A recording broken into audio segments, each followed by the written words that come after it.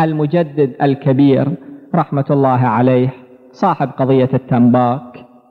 واحد من المقربين إليه يقول أنه في أخريات أيام حياته جاء الماء في عينه في إحدى عينيه فراجع الأطباء والأطباء نصحوه بإجراء عملية جراحية في عينه.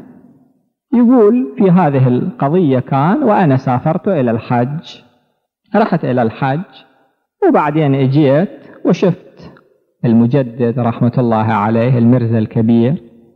فسألته شلون أحواله قال الحمد لله. قلت شلون وضع عينك؟ قال الحمد لله. فهو يقول الحمد لله ولكن أشعر أنه هنالك شيء في القضية. طبعا واحد يقول الحمد لله في كل حالة في حالة الشدة يقول الحمد لله وفي حالة الرخاء يقول الحمد لله. يقول أنه شفت أنه يخفي شيئا. فقلت له سيدنا شنو الموضوع؟ شنو القضية؟ فحاول أن ما يجيب أصريت عليه. قال أما وأنت قد أصررت حول الموضوع أنا أقول لك القضية ولكن بشرط ألا تحدث بهذه القضية أحدا ما دام هذا الطبيب حيا.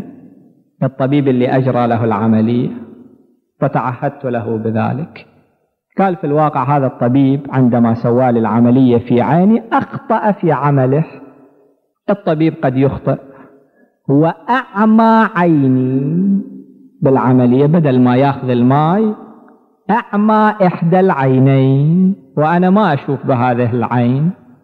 ولكن تسترت على هذا الطبيب لئلا يهان من الناحية الاجتماعية. لئلا تسلب ثقة الناس به. وأنا قلت لك هذه الكلمة لأني أثق بأنك لا تنقل هذا الشيء إلى أحد.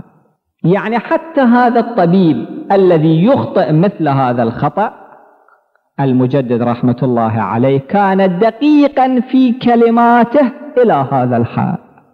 أما أنه واحد ينقل كل شيء ولا يتحرج من أي شيء وبدون ضوابط شرعية الكلمة تحتاج إلى ضابط شرعية.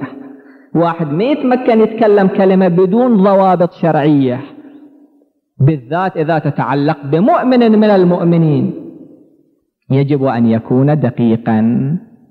يجب أن يكون يعلم أن وراء هذه الكلمة حسابا وكتابا وعقابا والعياذ بالله.